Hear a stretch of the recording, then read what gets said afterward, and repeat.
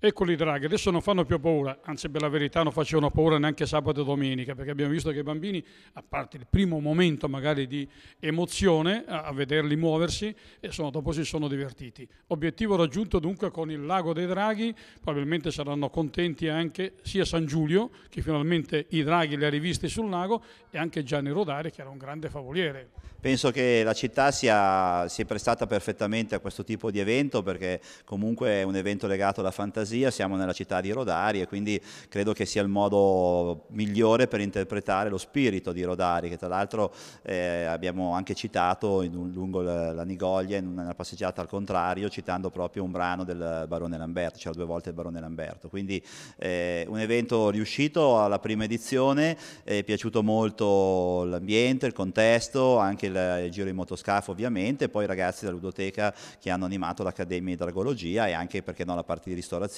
con Ablo che all'oratorio eh, ha dato una mano sotto l'aspetto invece appunto del banchetto dei draghi. Un successo che ha portato a Domegna quante persone? Più o meno, a parte che un calcolo forse è impossibile anche farlo. Sì, un calcolo esatto è impossibile, però sicuramente più di 3.500 persone sono stati in questo weekend a Domegna. Eh, per molti è stata la prima volta che hanno scoperto non solamente Omegna, ma il Lago d'Orta. E questo secondo me è importante, deve farci riflettere perché il ruolo degli eventi oggi è proprio quello di eh, diventare un veicolo di promozione turistica. E forse per una volta, senza nulla togliere a Orta, però è successo un po' il contrario, cioè di solito uno viene a Orta e poi conosce Omegna, in questo caso molti probabilmente sono venuti ad Omegna poi si sono chiesti perché il lago d'Orta si chiama così e avranno quindi conosciuto eh, Orta. Adesso bisogna pensare però alla prossima edizione perché abbiamo visto che i draghi sono tornati nelle loro caverne e quando è che andremo a risvegliarli un'altra volta? Ma credo che vista l'accoglienza che hanno avuto quest'anno i draghi torneranno volentieri perché